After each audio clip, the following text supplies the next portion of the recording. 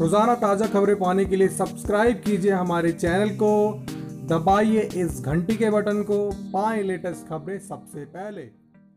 TV के इस popular couple के बीच नहीं चल रहा कुछ ठीक। तस्वीरें बनी इसकी गवाह कहा जाता है कि इंडस्ट्री में कुछ भी ज़्यादा समय तक नहीं होता, चाहे वह दोस्ती हो या प्यार। आए दिन किसी न किसी कपल के अलग होने की खबर आते रहती है।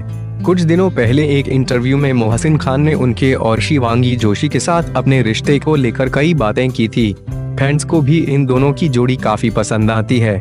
लेकिन अभी खबर आ रही है कि इन दोनों के बीच कुछ अच्छा नहीं चल रहा है। इनके बीच खटपट की खबरें आ रही है। स्पॉट्स बॉय पर छपी एक खबर के अनुसार इस रील और रियल लाइफ कपल के बीच कुछ सही नहीं चल रहा है। इनके बीच पहले जैसा कुछ दिखाई नहीं दे रहा है। कोई बात है जो इन दोनों के रिश्ते के बीच आ गई है। ये दोनों पहले जैसा बर्ताव नहीं कर रहे हैं। इतना ही नहीं, स्पॉट बॉय ने कुछ तस्वीरें भी डाली है जिनमें इनके बीच की दूरियाँ साफ़ दिखाई दे रही हैं।